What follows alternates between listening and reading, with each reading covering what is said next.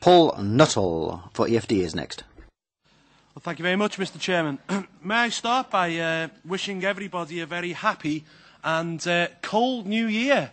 Um, well, that's the niceties out the way because it seems that I'm one of the only few MEPs who doesn't seem to foam at the mouth or howl at the moon when we start talking about so-called man-made global warming.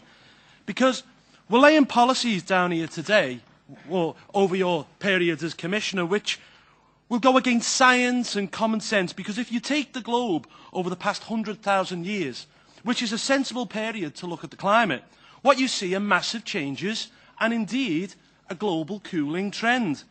So considering the evidence over the past 100,000 years, do you not think that we're being a tad presumptuous or even egotistical to think that man can alter the climate?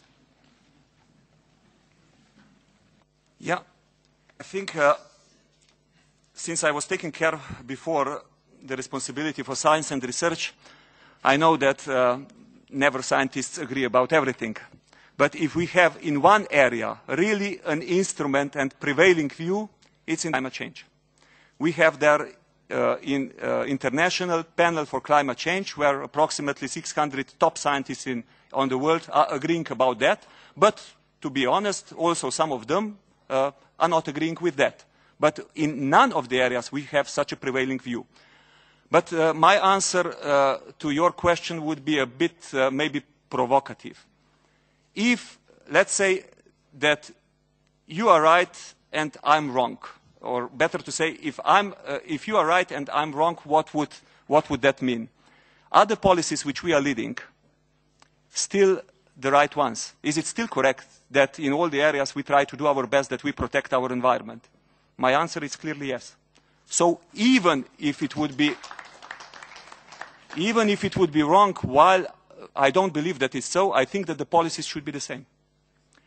The other question is, if I'm right and you are wrong, and we follow then uh, the advice of this, uh, let's say, some of uh, views which are also, what would be the consequence?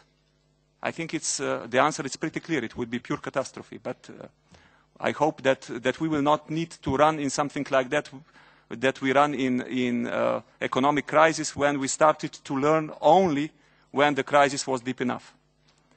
I hope that we are enough politically responsible that we will respond on these issues well in advance.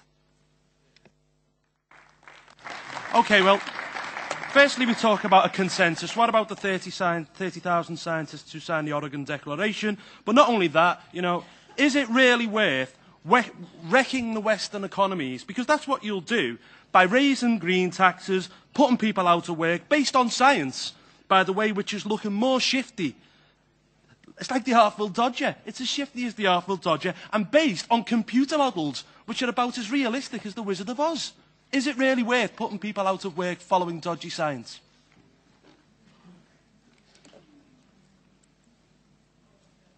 Our computer methodology and technology has well advanced. Uh, but but my, uh, what, what I wanted to say to you, it's really, uh, nobody really wants to work against the business.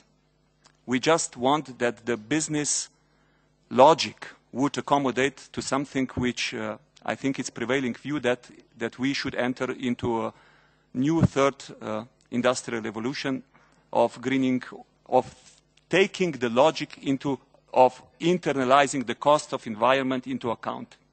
Simple as that. If we, at the beginning of our logic, internalize the cost of that, what we use, by the way, as consumers, and pay, and we should pay, then I think we are going into a sustainable direction. And that would be uh, my response. Concerning the taxes which you mentioned, don't worry, government will collect their taxes in any way you wish. Uh, and they will always target the level of the taxes. Uh, if they are collecting it from the uh, green sources, I think it's better than from the others, but anyway,